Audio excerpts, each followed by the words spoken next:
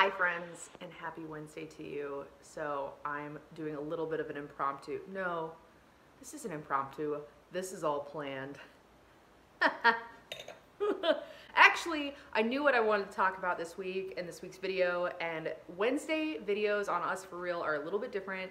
It's typically just going to be me, so I'm sorry if you prefer Adam. I'm now referring to Adam as the talent because let's face it, that's why people come to watch these vlogs. It's because of Adam.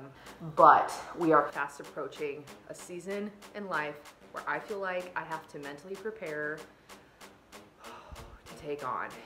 Um, and while I do enjoy it, I enjoy all the rip raw and the hoopla and the, the Mike Riley action. It's almost football season.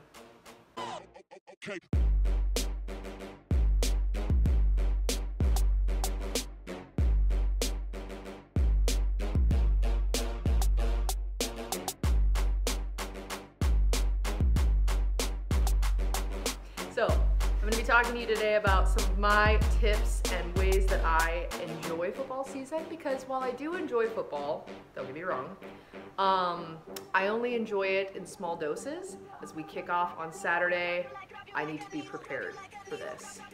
So here we go. Ooh, bear with me because I need to put my dinner in the oven. I definitely have you set up on a box that our new light kits came in and a bottle of wine. So, yep, let's have some fun. Now, while I am a woman and my husband are a man, this can be for anybody. I mean, this is for anybody. Let's talk. There are ways that you can still look like you're enjoying yourself, even though you might not be fully enjoying yourself, but hopefully you can enjoy yourself. All right, tip number one get some garb. Try to, try your very best to put your best foot forward and get in the spirit of things. What I love about Nebraska is you cannot go a block without finding some sort of Husker Hounds store, somewhere where you can buy garb for the Huskers. If, if you can wear it, they make it for the Huskers. They make slap bracelets, get yourself a nice cardigan, you know, style up your Husker accessories. I look forward to every single year going out and buying a really cute shirt. Maybe it's a nice half zip or something. I have a preference of where I like to get my Husker stuff from. I will actually link it below. It's a gal called The Daily Tay. She is an old high school friend. Shout out to you, Taylor Wolf, old friend of, not friend. Was she a friend? You knew her. Sure. Adam just came home. She makes these amazing shirts on Etsy, and Everyone of their mom tries to steal her designs, but she is the real the deal. University, those guys are not nice. I have something else I'd say, but I won't because you're filming. Thank you. And she's great. She has such unique designs. One of her favorite shirts of mine is one that says "Talk Herbie to me," which I always do. I'm a sucker for a good pun.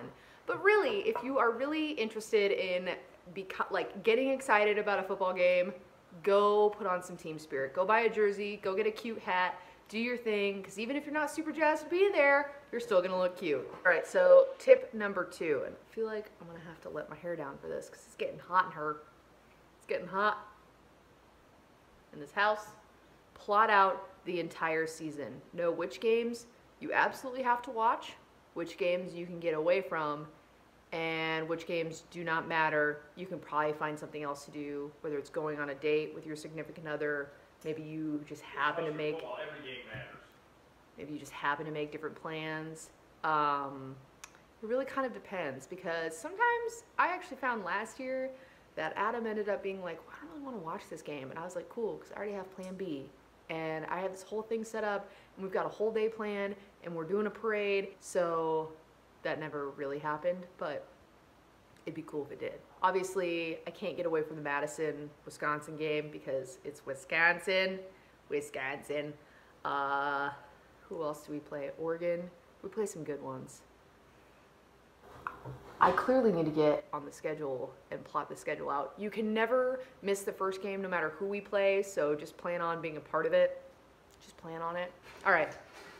Number three, make some bomb food food is, while it shouldn't be the centerpiece of things, and because we live in America where I feel like stuff just revolves around food, don't feel like it has to, but look forward to the snacks that you make during game time.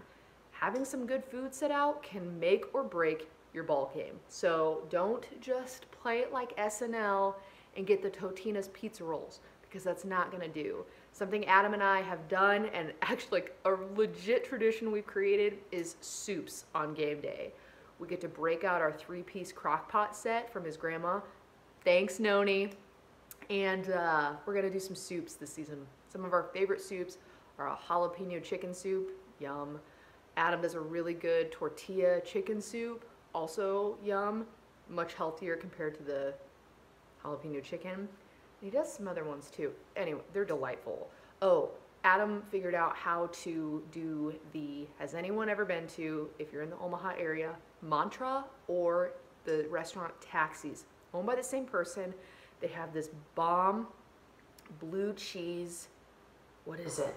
Oh, it's blue cheese and cabbage soup. It'll change your life. If, if I can get him to give me the recipe, I will link it in this blog for you because it is so good. Uh, other things I look forward to are making sure that you have like really good appetizers, maybe a nice dessert. Um, I know in the past I've made an eggless cookie dough dip. Goes over famously if you are goes over famously if you've got a ton of people, you know, folks with sweet tooths. Um, there's tons of different appetizers and things. I will link a few in this blog for you to check out. Pinterest approved. I feel like there's so many tips to make it through football season. Um, but if you're into this sort of thing, alcohol, but don't go chasing waterfalls, all right? Don't go getting sloshed in the first quarter. Nobody likes a sloppy Sally, okay? Especially if you're going over to somebody's house that you don't know. Number one, if you're going over to someone's house that you don't know and you're watching a game that you're not super excited about, just play it classy, all right? Bring something that you enjoy, but that you're not gonna get super out of control with. You can you can get out of control and put on your sweatpants when you're at home, girl. Don't do it at the game. Don't do it at the tailgate because you're just going to want to take a nap later. We'll get to that in just a second. But essentially, you're really just going to want to enjoy yourself and keep a nice, even buzz throughout the entire game. Obviously, if you don't drink alcohol and you can make it through a game, high five to you. Like, you need to teach me your secrets because I don't know how you do it. It's Monday and I'm drinking a glass of wine. Typically, it's like a Tito's vodka and tonic, maybe it's a glass of wine. What else have I had for game day? Never shots. Don't ever do it. It's just a horrible idea.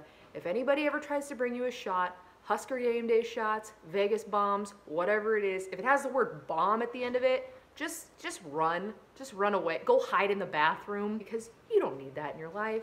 No one needs it.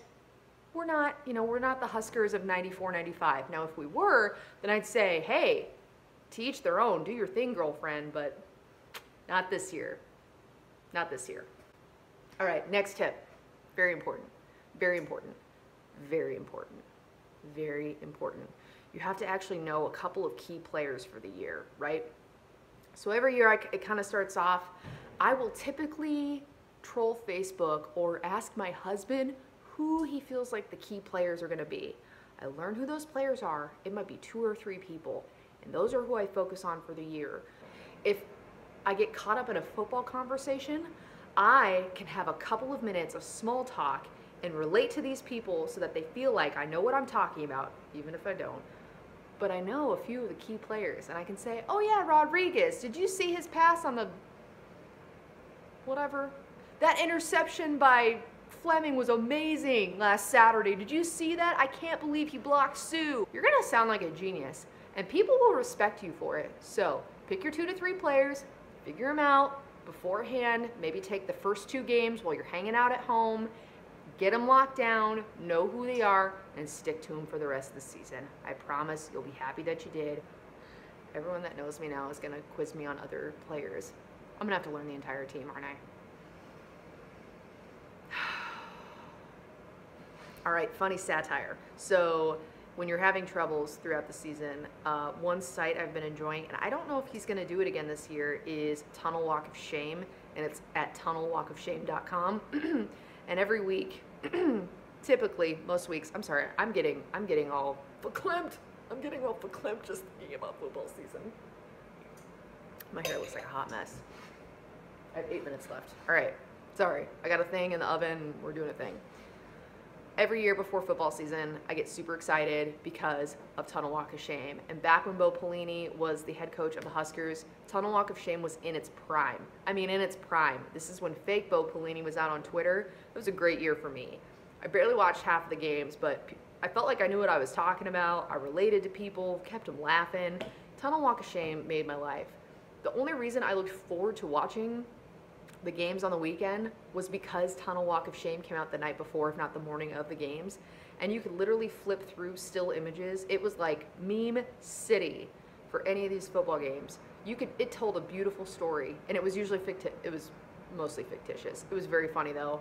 And I feel like my husband and I bonded over Tunnel Walk of Shame because we would get cozy in our little cozy, you know, sweatpants or whatever, and maybe grab a glass of wine, and we would read Tunnel Walk of Shame together.